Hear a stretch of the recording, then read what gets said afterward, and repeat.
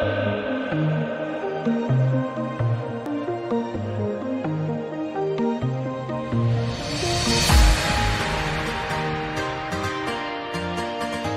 Morning बच्चों। Last class में हम लोग second degree non homogeneous equation के कुछ एक इंपॉर्टेंट इंपॉर्टेंट पॉइंट को सीखे थे, जिसमें था कि how to find point of intersection of two line है ना? पहला तो हम लोग ये सीखे थे कि point of intersection of the two line कैसे निकालेंगे।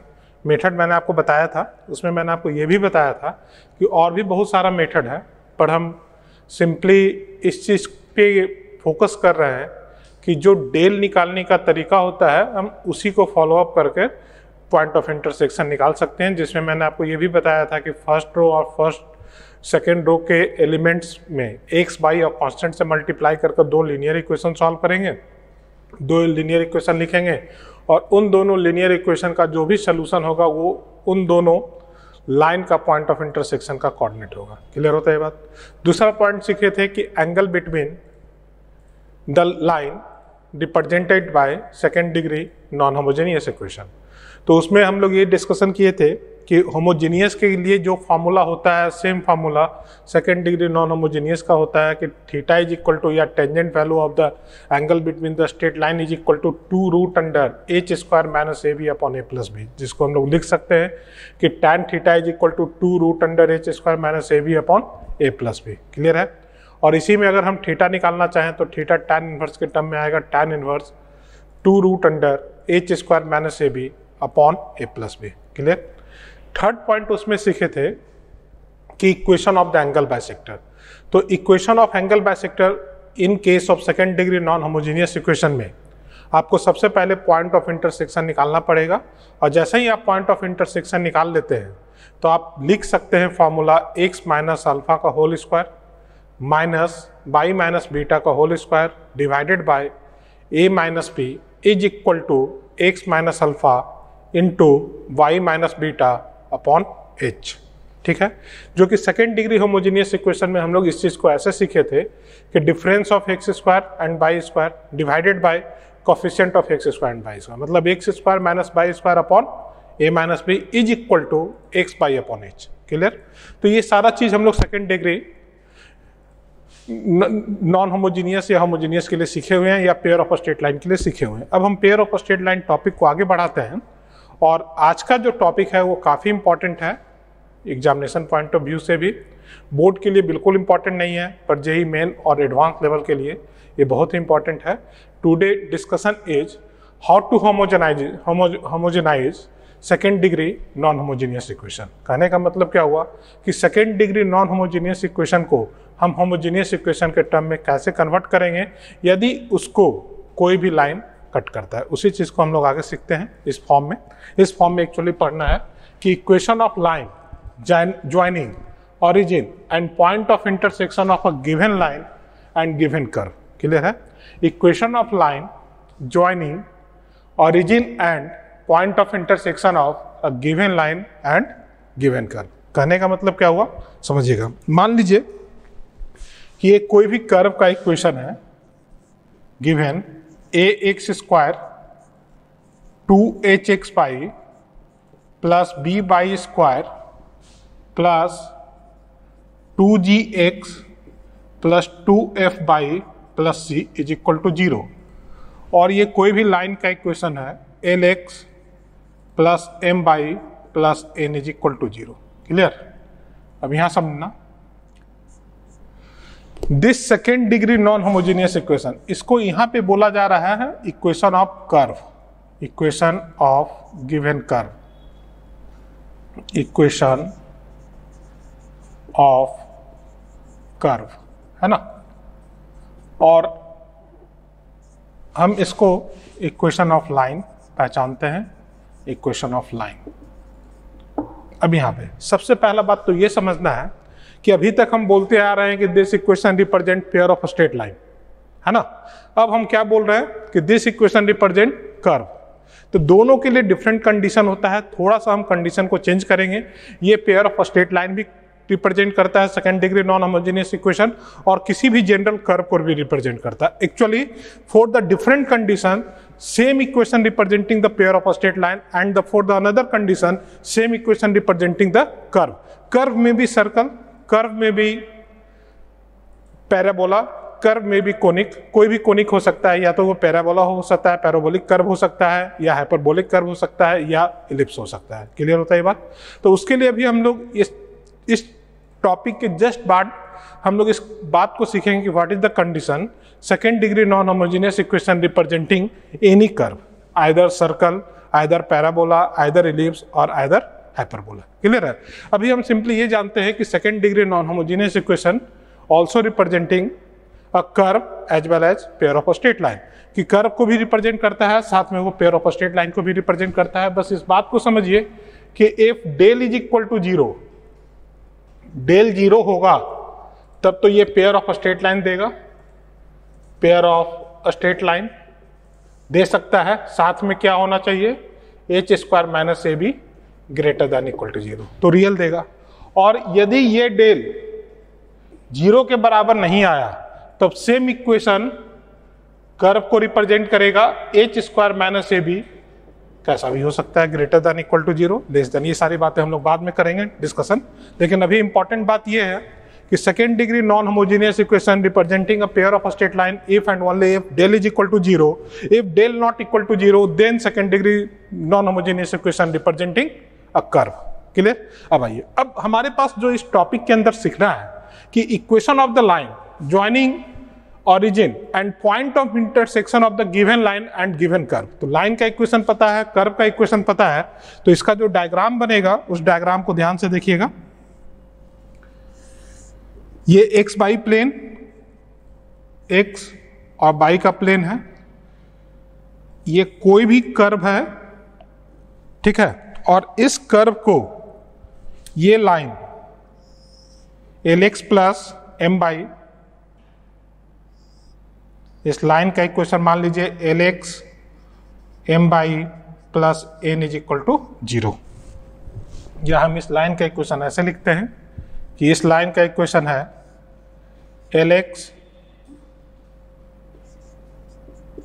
m y plus n is equal to zero curve का इक्वेशन है x square y square two g x चलो, इसको लिखने की ज़रूरत नहीं है, ऊपर कर्व का इक्वेशन मैंने लिखा हुआ है।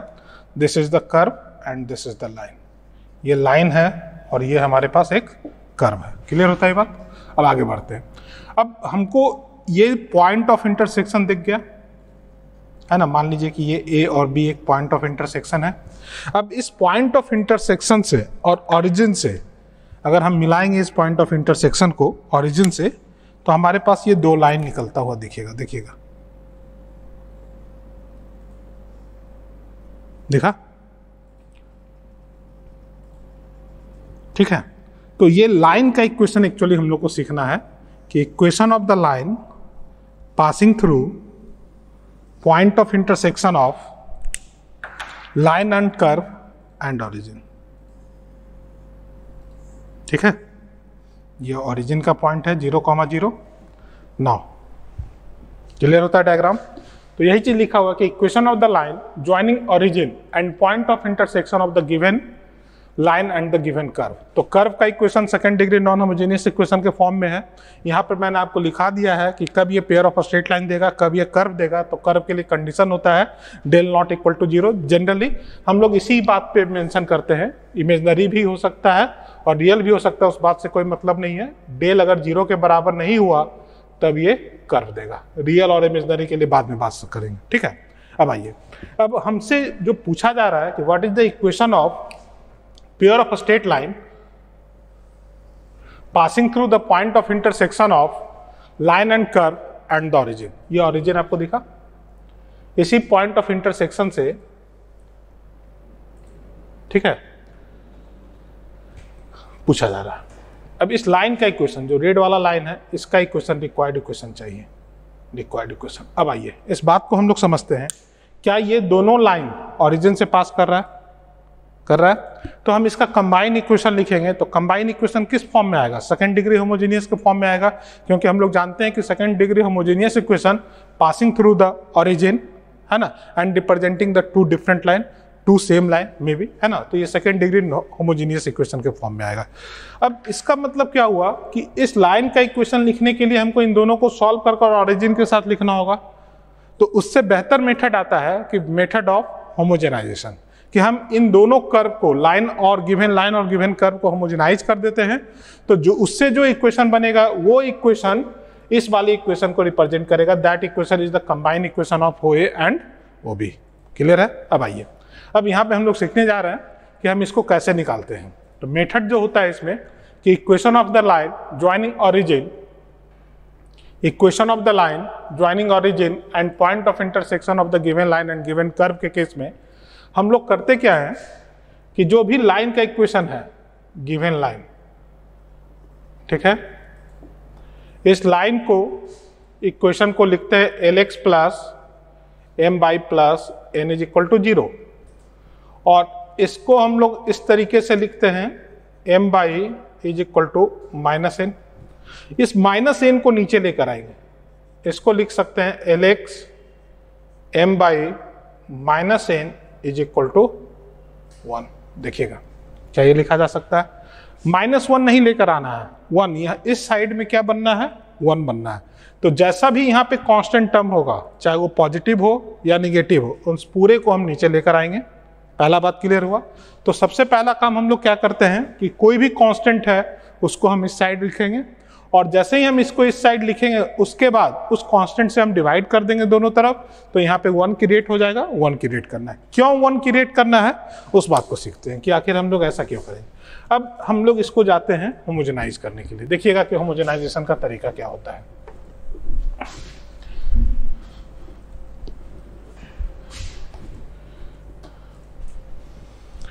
सेकेंड डिग्री इक्वेशन है।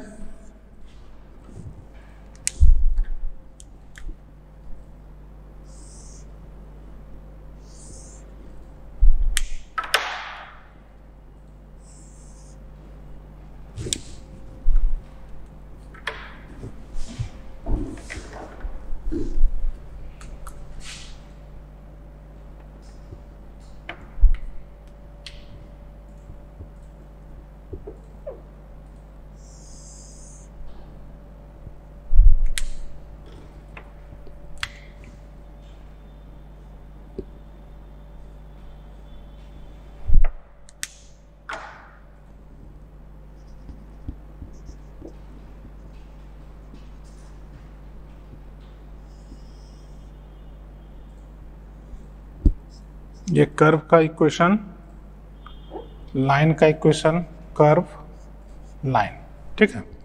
अब आइए। हम लोग बेसिकली करने क्या जा रहे हैं? इसको साफ़ करेंगे और यहाँ पे इसको हम होमोजेनाइज करेंगे। देखिएगा। अब हमारे पास जो आया वन के लिए वन के लिए हम लोग लिख चुके हैं l x plus m y upon minus n is equal to one ठीक है? जैसे ही हम वन के लिए ये लिख रहे हैं l x plus m y minus n is equal to one अब हमारे पास जो भी कर्व का इक्वेशन है कर्व का इक्वेशन दिया हुआ है x square y square two g x two f y plus x a x square two h x y b y square two g x two f y plus c is equal to zero है ना? अब हमको इन दोनों से homogenise करना है कि how to homogenization है ना? तो इसको बोलते हैं method of homogenization method of homogenization method of homogenization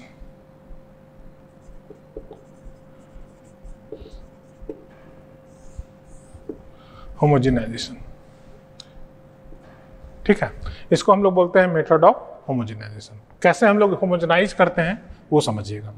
कि जो भी गिवन कर्व होगा, उसमें सबका पावर हमको सेम बनाना है। ठीक है? तो ये लिखा हुआ है a x square two h x y b y square two g x into one two f y into one c one का square is equal to zero क्या कहना होगा? क्यों हम वन का यूज़ कर रहे हैं?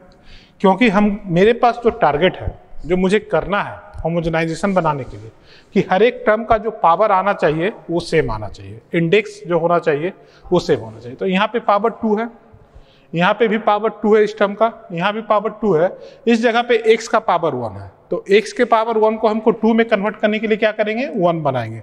यहाँ भी बाई का पावर वन है एक्स का पावर वन है तो वन को टू में कन्वर्ट करने के लिए वन से मल्टीप्लाई करेंगे। यहाँ भी बाई का पावर वन है तो एक पावर कम रहा है तो उतने वन से मल्टीप्लाई करेंगे। यहाँ पे सी का पावर ज़ीरो है तो यहाँ पे दो पावर कर रहा है, कम रहा है तो यहाँ पे हम लोग क्या करते हैं? वन के स्क्वायर से मल्टीप्लाई करते हैं। मेथड क्लियर हुआ कि जहाँ पे जितने पावर की कमी होती है होमोजेनाइज करने में, क्योंकि हर एक टर्म में सेम पावर चाहिए। तो जितने पावर की कमी होती है, उतने ही वन से हम लोग मल्टीप्लाई करते हैं उस टर्म में।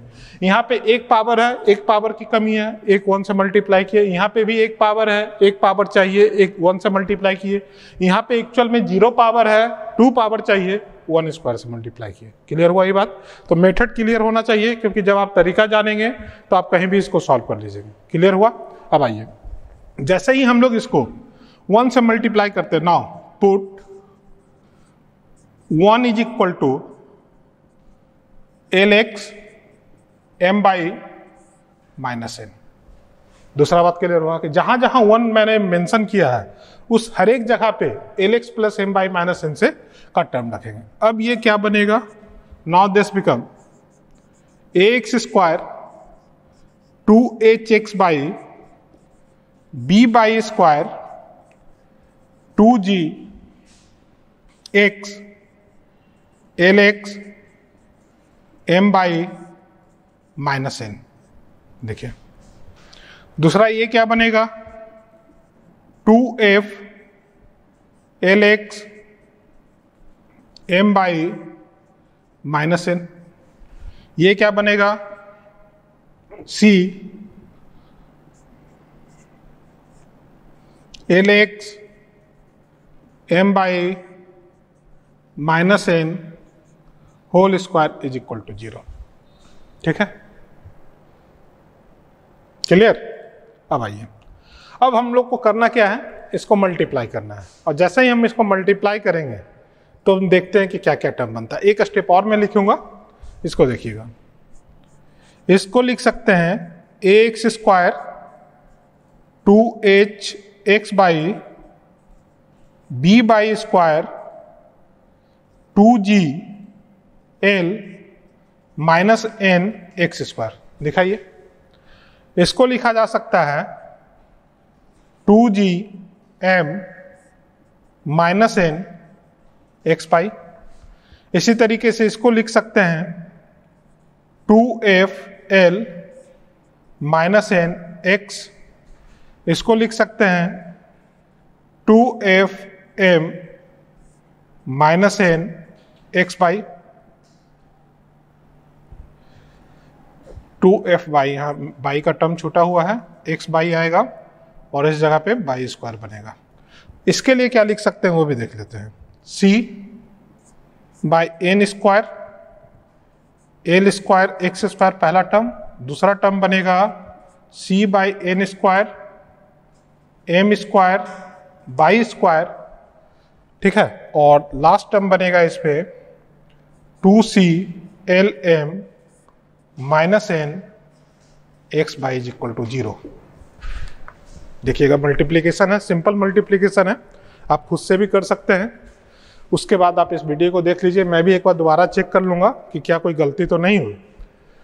पहला टर्म तो एज इट इज़ है x square, two h x y b y square. अब हर एक ब्रैकेट को हम खोलेंगे। तो जैसे ही हम इस ब्रैकेट को खोलेंगे तो ये कितना आ रहा है? Two g l x square by minus n. Clear? दूसरे टर्म से मल्टीप्लाई करेंगे, two g m minus n x y. इस जगह पे आइए, two f y l, two f l minus n x y, two f m minus n y square. इसके बाद आइए सी तो वैसा ही रह जाएगा l square x square by n square c m square n square by y square two c l m minus n x y equal to zero clear यहाँ तक तो क्लियर है? अब इसमें देखना। इसमें जो टर्म बना, वो क्या क्या बना, उसको हम लोग काउंट करने जा रहे हैं। पहला जो टर्म बना, वो एक्स स्क्वायर का बना। कहीं भी बना होगा। एक्स स्क्वायर का टर्म होगा। दूसरा जो टर्म बना, वो एक्स बाई का टर्म बना। है ना? तीसरा टर्म जो बना, वो बाई स्क्वायर का टर्म बना। देखिएगा। एक्स स्क्वायर का टर्म यहाँ पे है, इस जगह पे है और इस जगह पे है। आप इसको कंबाइन करके लिखना चाहें तो लिख सकते हैं। इसको अगर हम लोग लिखना चाहें तो लिख सकते हैं। A minus two g l by n plus c by n square l square into x square क्या ये टर्म बना? दिखा सबको? इसी तरीके से अगर हम लोग दूसरे एक्स बाई के टर्म को इकट्ठा करेंगे तो एक्स बाई का जो पहला टर्म है वो कितना है? टू एच यहाँ देखिएगा। उसके बाद एक्स बाई का दूसरा टर्म इस जगह पे बन रहा है minus of two g m by n और तीसरा टर्म जो एक्स बाई का बन रहा है वो इस जगह पे इस जगह पे है two f l minus n. और चौथा टर्म जो एक्स बाई का है, वो इस जगह पे है minus of two c l m by n. देखना, एक्स बाई क्या ये टर्म बना? देखिएगा। और बाई स्क्वायर का जो टर्म बन रहा है, उसको भी हम लोग इकट्ठा करके लिखते हैं। तो बाई स्क्वायर का पहला टर्म है बी, दूसरा टर्म है plus minus two f m by n, और तीसरा टर्म है c m square n square y square is equal to zero. देखा? इसको हम लोग शॉर्टकट में भी समझ सकते थे कि इसमें सिर्फ़ तीन ही टर्म बन रहा है x square y square x y साथ में कुछ ना कुछ कॉफिशियंट आएगा। अब उस कॉफिशियंट के लिए मैं यहाँ लिख रहा हूँ। ठीक है? इसको देखना है। अब मैं इस पूरे कॉफिशियंट को एक नया नाम देता हूँ ए इसको बड़ा एच और इसको कैपिटल बी देखिएगा इसका मतलब क्या हुआ? कि ये जो फॉर्म बना, वो इस फॉर्म का दिख रहा है a x square two h two h इसका नाम दे दीजिए two h x y plus b y square is equal to zero देखिएगा कि अगर हम इसको, इस कॉफिशियंट को ए से रिप्लेस करें, इस पूरे कॉफिशियंट को टू एच से रिप्लेस करें और इस कॉफिशेंट के लिए बी से रिप्लेस करते हैं तो ये जो फॉर्म बनेगा, वो इस फॉर्म का होगा a x square plus two h x y plus b y square is equal to zero clear है? अब ये क्या रिप्रेजेंट करता है? Representing pair of a straight line representing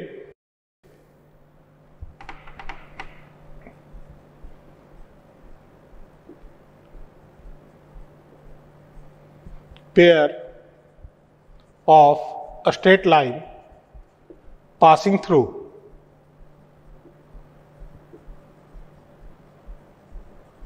Origin. क्या ये रिप्रेजेंट करता है? मतलब ये सिंपली इन लाइन का, इन दोनों लाइन का कंबाइन इक्वेशन लिखा हुआ है। Then it is the also combine equation of it is combined equation of equation for O and O B line clear है ये बात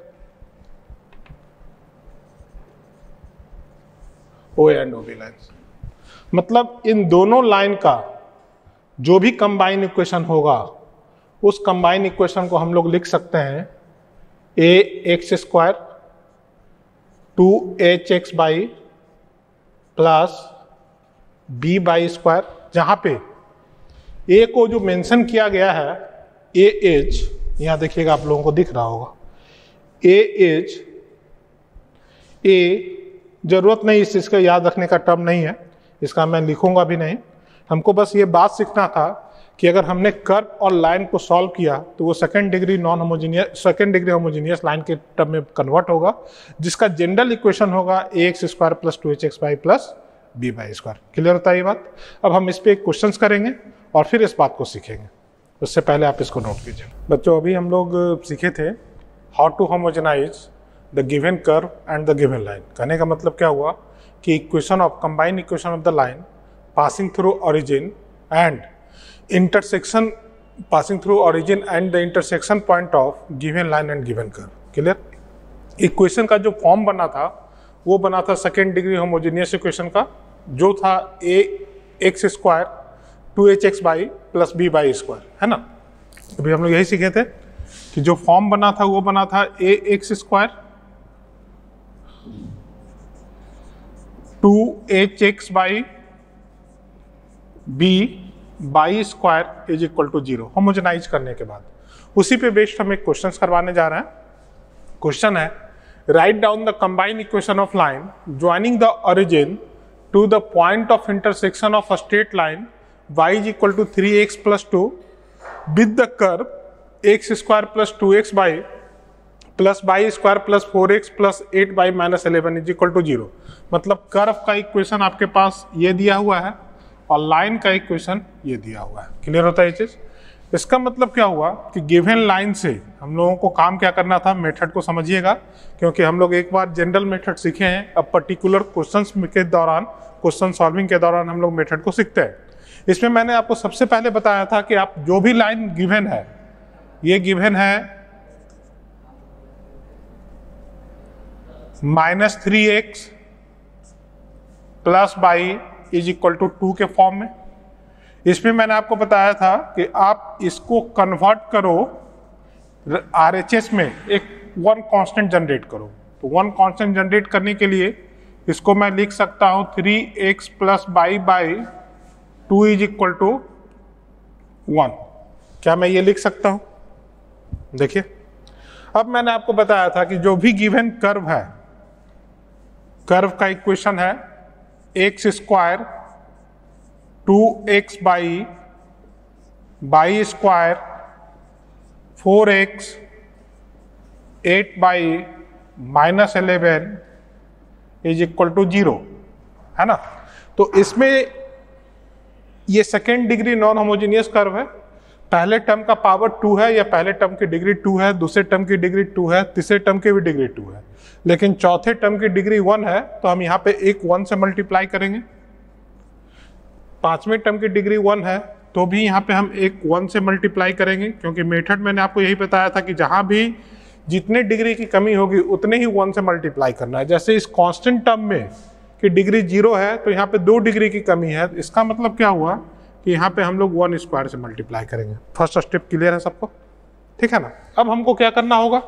इस वन के जगह पे ये वैल्यू रिप्लेस करना होगा। Now put now put one is equal to minus three x plus y by two इसका मतलब क्या हुआ? इसको लिखा जा सकता है x square two x y y square plus four x minus three x plus y by two plus eight y minus three x plus y by two minus eleven is equal to zero क्या ये लिख सकते हैं? ठीक है? अब जैसे ही हम इस बात को लिख लिए, अब हमको इस ब्रैकेट को हटाना है मल्टीप्लाई करते जाइए। आपके पास कैलकुलेशन करने का सीधा इक्वेशन उस फॉर्म में आकर जनरेट होगा। देखिएगा, ये लिखा जा सकता है x square two x y y square plus two से टू कैंसिल आउट कर दीजिए। और मल्टीप्लाई करने के बाद आएगा माइनस सिक्स एक्स स्क्वायर साथ में आएगा प्लस टू एक्स बाई। इसको आप यहीं पे माइनस जनरेट कर लीजिए। Minus six x square plus two x y. इधर आइएगा टू से फोर एट कैंसिल आउट होगा फोर बनेगा। और ये बनेगा माइनस ट्वेल्व एक्स बाई। और साथ में बनेगा प्लस एक स्टेप यहाँ पे लिखना है। Minus three x plus y by. Two का होल स्क्वायर, ठीक है? ये बनेगा हमारे पास minus twelve x y plus four y square minus eleven by four nine x square plus y square minus six x y is equal to zero. देख रहा क्या ये बनता हुआ दिख रहा है सब? है ना? तो जैसे ही हमने ये वैल्यू इसमें पुट किया तो हमारे पास कैलकुलेशन इस फॉर्म का आ गया। अब हमको करना क्या है? एक्स स्क्वायर के टर्म को एक साथ लिखिए बाई स्क्वायर के टर्म को एक साथ लिखिए और एक्स बाई के टर्म को एक साथ लिखिए। तो एक्स स्क्वायर का जो टर्म है, यहाँ पे वन लिखा हुआ है कॉफिशियंट में। इस जगह पे माइनस सिक्स लिखा हुआ है और इसके बाद आइए एक्स स्क्वायर यहाँ बन रहा है और यहाँ पे लिखा हुआ है minus ninety nine by four check कर लेना है।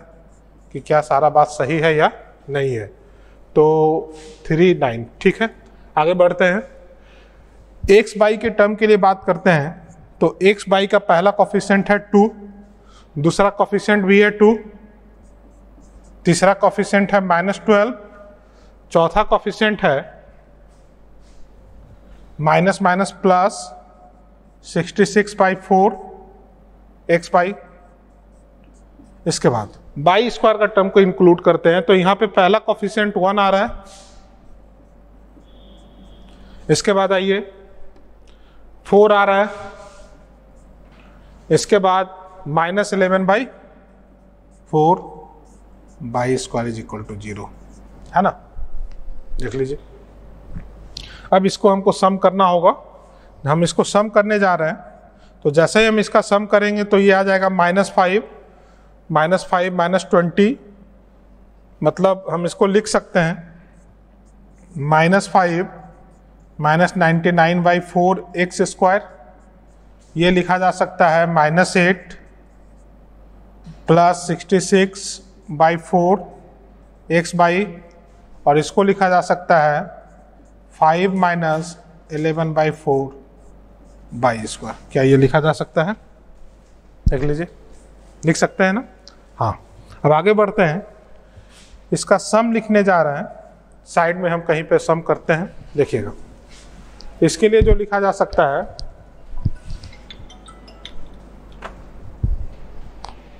इसके लिए हम लोग लिख सकते हैं minus twenty, minus ninety nine. तो minus twenty, minus ninety nine, one one nine, one one nine by four, x square. इधर आइए। थर्टी टू और सिक्सटी सिक्स तो minus thirty two sixty six thirty four by four x y plus इसको लिखा जा सकता है twenty minus eleven nine by four y square is equal to zero ठीक है? अब यहाँ देखते हैं। फाइनली ये जो इक्वेशन बना, ये इक्वेशन बन गया minus one one nine X square plus thirty four X Y plus Y square nine Y square plus nine Y square is equal to zero nine Y square is equal to zero. ठीक है? देखिएगा। अगर मैं इसको इस equation से compare कराऊं, two h x y b y square is equal to zero से तो ए का मान क्या हो सकता है? A is equal two H का मान कितना होगा? 17 क्योंकि two H is equal to thirty है। तो H is equal to seventeen और बी का जो मान होगा, वो आएगा नाइन क्लियर होता है एच चीज़ इसको पहले नोट कीजिए, फिर हम इसी में दो क्वेश्चन पूछा हुआ है कि what is the acute angle between them and the combine equation for angle bisector सबसे पहले इसको नोट कीजिए और समझिए कि क्या ये सेकेंड डिग्री होमोजीनियस इक्वेशन का फॉर्म आ रहा है या नहीं आ रहा है। कैलकुलेशन एक बार आपको चेक कर लेना है। कैलकुलेशन आ गया होगा बिल्कुल सही कैलकुलेशन है ये, है ना? अभी हम लोग ए का मान निकाल दिए एच का मान निकाल दिए बी का मान निकाल दिए, ठीक है? तो अब क्वेश्चन में हमारे पास दो क्वेश्चन और साथ में एक्सटेंड किया हुआ है। सिर्फ़ combine equation of pair of straight line नहीं पूछा जा रहा है। साथ में ये पूछा जा रहा है कि उसके बीच का एंगल क्या होगा और उसका इक्वेशन ऑफ़ एंगल बाइसेक्टर क्या होगा, ठीक है?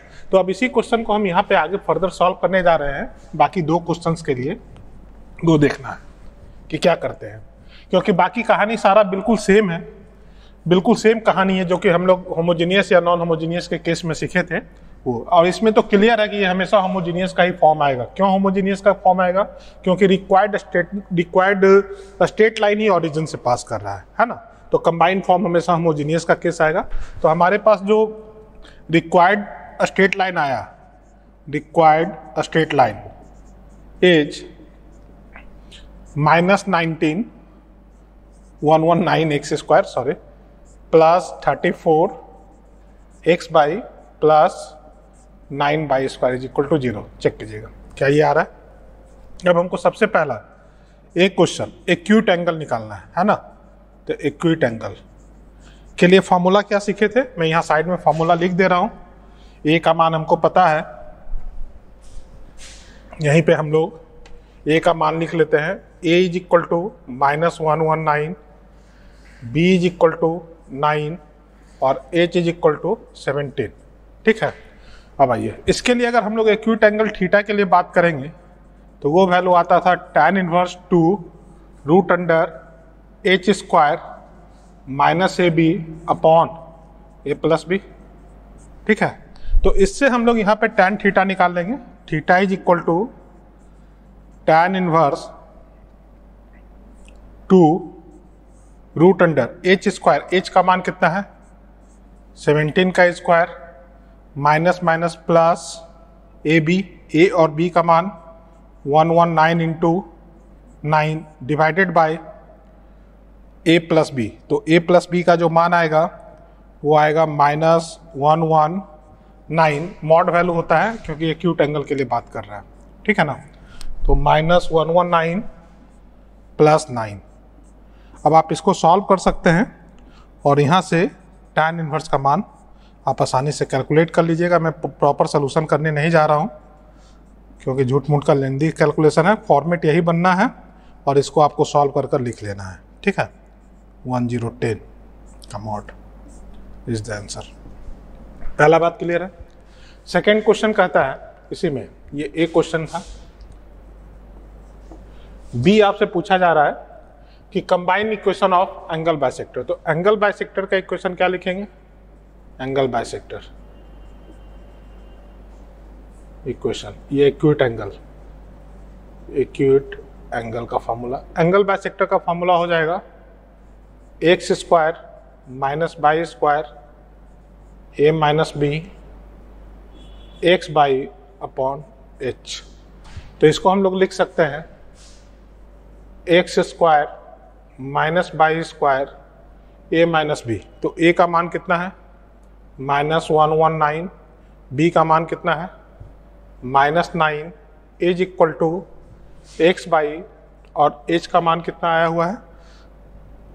सेवनटीन इज़ द आंसर बाकी आपका काम है सोल्यूशन इस फॉर्म में भी छोड़िएगा तो कोई अंतर नहीं पड़ेगा। एक स्टेप और बढ़ जाइए इसमें। इसको लिखा जा सकता है x square minus y square minus one two eight is equal to x by seventeen अगर कुछ कैंसिल आउट होता है तो कैंसिल आउट कर देंगे। और नहीं तो इस फॉर्म में डायरेक्टली भी हम लोग मल्टीप्लाई करके लिखेंगे तो आंसर सही होगा। ठीक है? आगे बढ़ते हैं। नेक्स्ट क्वेश्चन आइए। नेक्स्ट क्वेश्चन है। Find the condition that pair of a straight line joining origin to the point of intersection of the line y is equal to m x plus c and the circle x square plus pi square is equal to a square. May be at right angle. देखिएगा question क्या कहता है? समझना है इस बात को? ठीक है? तो ये जो सर्कल का इक्वेशन है, जो गिवन है हमारे पास अकॉर्डिंग टू क्वेश्चन सर्कल का इक्वेशन है x square plus y square equal to a square और लाइन का इक्वेशन है इज़ द सर्कल लाइन का equation y is equal to m x plus c मैंने आपको बोला था कि सबसे पहले तो आप इसको होमोजेनाइज कर लीजिए, क्योंकि इक्वेशन क्लियर है। हमारे पास कि equation of pair of straight line लिखना है, जो कि ओरिजिन से पास करता है, और दिए हुए कर्व और लाइन के पॉइंट ऑफ़ इंटरसेक्शन से क्रॉस करता है। मतलब क्या हुआ कि जैसे ही हमारे पास ये स्टेटमेंट क्लियर हो गया क्वेश्चन में, कि हमको हम होमोजेनाइज करना है तो पहला काम यही करेंगे। कि आर में वन बनाएँगे, सारे वेरिएबल्स को एक तरफ़ लेकर आएँगे, जो भी कांस्टेंट होगा वन के अलावा उसको डिवाइड कर कर आर में वन बनाएँगे, ठीक है?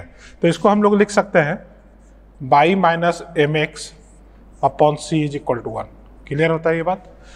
अब आइए, अब हमको क्या करना है? Required equation of pair of straight line चाहिए। Required equation for pair of straight line या required equation of pair of straight line of pair of straight line passing through passing through origin ठीक है? जो कि origin से पास करता है। मतलब क्या हुआ? कि हमको होमोजेनाइज करना होगा। माइनस ए स्क्वायर इसको वन स्क्वायर ज़ीरो कैसे किए? इस टर्म में मैक्सिमम डिग्री टू है। इस टर्म की भी मैक्सिमम डिग्री टू है और कांस्टेंट की मैक्सिमम डिग्री ज़ीरो है। इस कारण मैंने यहाँ पे वन स्क्वायर से मल्टीप्लाई किया। अब इस वन के लिए मैं ये वैल्यू पुट करूँगा। Now x square plus y square minus a square y minus m x by c का whole square is equal to zero ठीक है? दूसरा बात भी क्लियर है? है ना? अब अपन अपन को क्या करना होगा? अब अपन को ये करना होगा कि इसको स्क्वायर कर दे। स्क्वायर करके एक्स स्क्वायर के टर्म को एक साथ लिख लें बाई स्क्वायर के टर्म को एक साथ लिख लें और एक्स बाई के टर्म को एक साथ लिख लें। तो आगे बढ़ते हैं।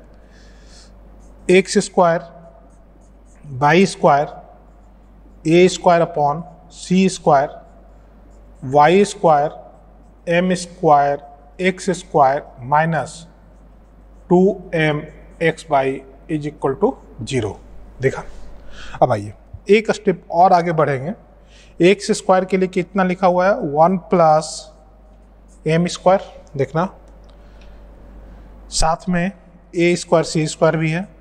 A square by c square, x square. दिखा क्या सबको? चलिए, इस लाइन को मैं इधर लिखता हूँ। यहाँ देखिएगा। ये क्या लिखा हुआ है? इसको कंबाइन कीजिए, एक्स स्क्वायर के साथ। तो ये लिखा हुआ है वन प्लस प्लस नहीं minus one minus a square m square c square x square अब आइए। एक्स पाई के टर्म को एक साथ लिखते हैं तो एक्स पाई का जो टर्म है plus two a square m by c square x y साथ में बाई स्क्वायर का टर्म लिखा हुआ है plus one minus a square c square y square is equal to zero क्या ये दिखा सबको? फिर से चेक कीजिएगा। एक्स स्क्वायर का कॉफिशियंट इस जगह पे होगा minus a square m square y c square यहाँ पे वन है तो one minus a square m square y c square x y का कॉफिशियंट माइनस टू एम यहाँ पे minus a square c square तो ये हो जाएगा plus two a square m c square clear y square का कॉफिशियंट यहाँ पे है, minus a square c square और इस जगह पे है वन। तो इसको मैं लिख सकता हूँ, one minus a square c square y square. Clear है? एक बार और एक कैलकुलेशन और आप बढ़ सकते हैं, या यहाँ से भी आप सॉल्व करना चाहें तो हो जाएगा, कोई दिक्कत नहीं है। चलिए, इसको आप थोड़ा सा अरेंज करके लिख लीजिए, a square, m square, x square. इसको लिख सकते हैं, two a square m x y, इसको लिख सकते हैं, c square a square y square is equal to zero अब आइए। ए का मान यहाँ पे कितना होगा? जो हम लोग जनरल इक्वेशन कंसिडर करते हैं, उसमें ए सी स्क्वायर माइनस इससे कंपेयर करा लीजिए। A x square two h x y b y square is equal to zero compare हो गया। ए का मान जो आएगा a is equal to c square minus a square m square b is equal to c square minus a square और h का जो मान आएगा, h is equal to a square m ठीक है? ए स्क्वायर एम अब हमसे पूछा जा रहा है कि what is the condition clear what is the condition this line makes right angle at the origin यही ना?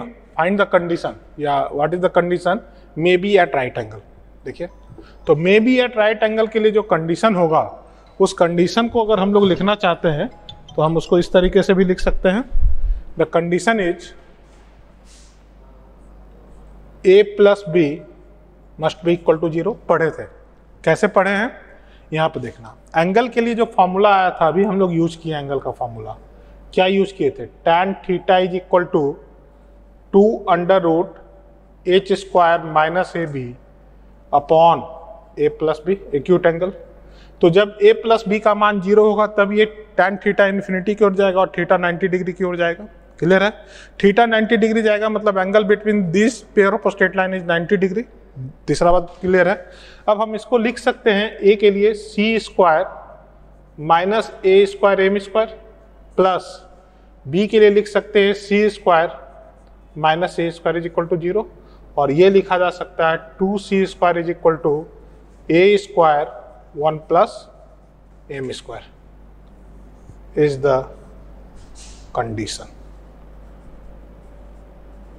for right angle है ना? अब देखिएगा। डायग्राम समझिएगा थोड़ा सा क्या कहना चाहता है? यहाँ पर।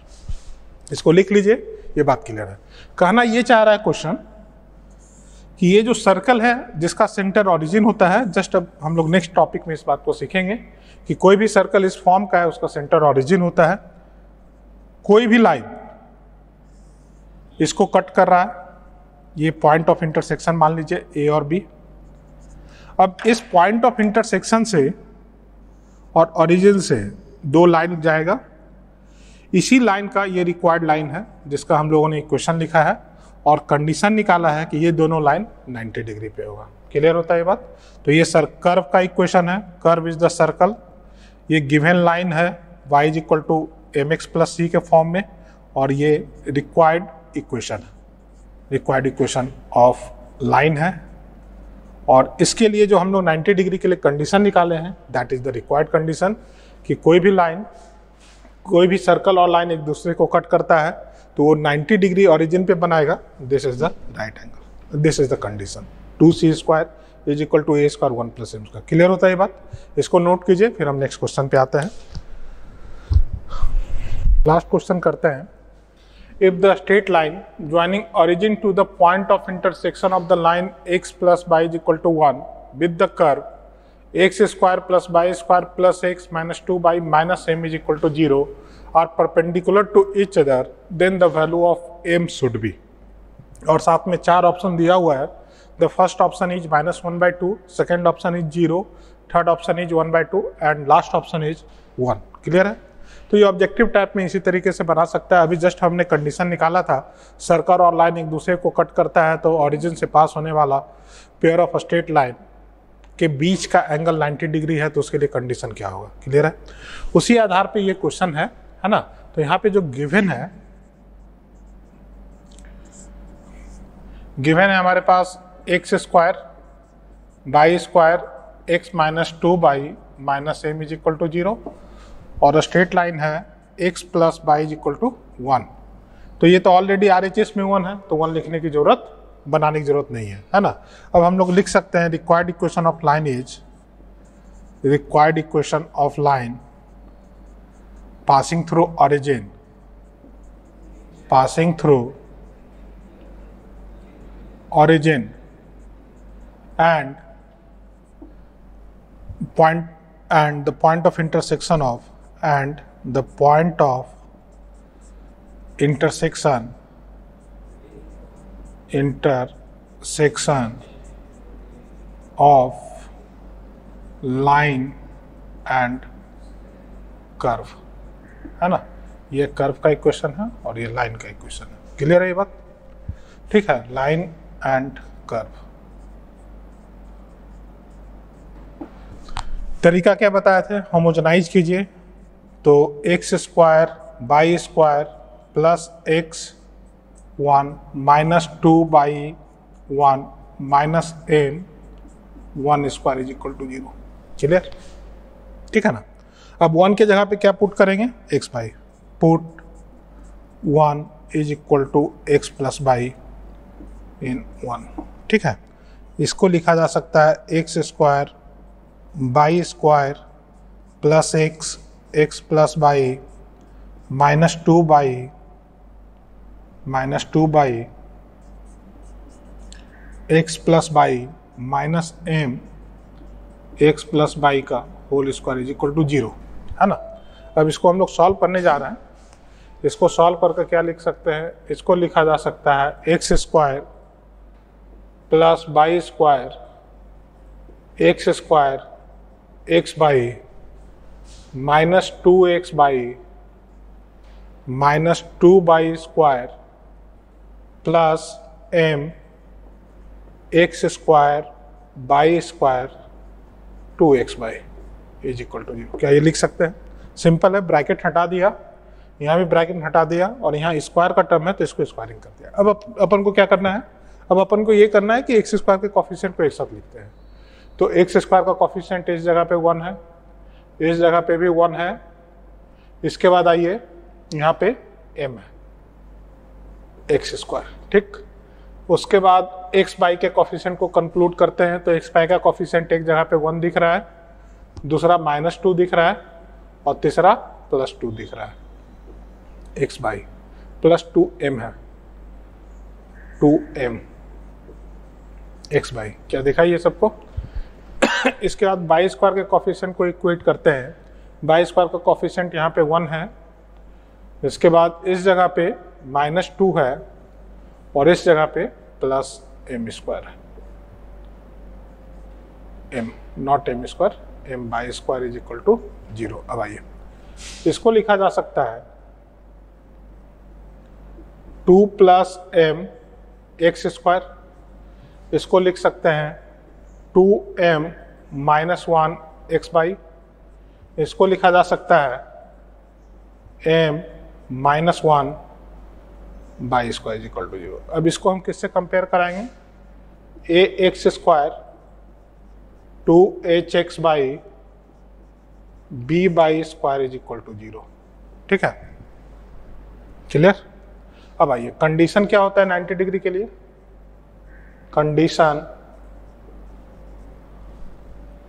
for perpendicular line, for perpendicular line. इसके लिए कंडीशन जानते हैं कि सम ए प्लस बी कैसा होना चाहिए? ज़ीरो दिस इम्प्लाइज अगर ए का मान हम लोग निकालना चाहें तो ए का मान यहाँ पे है टू प्लस एम और बी का मान है एम माइनस वन चेक कीजिएगा इससे, ठीक है? अब इसके लिए अगर हम लोग लिख सकते हैं ए प्लस बी में ए प्लस बी के लिए अगर लिखना चाहें तो लिख सकते हैं a is equal to two plus m plus m minus one is equal to zero this implies two m is equal to one और एम का मान कितना निकल कर आएगा? वन बाई टू इसका मतलब क्या हुआ?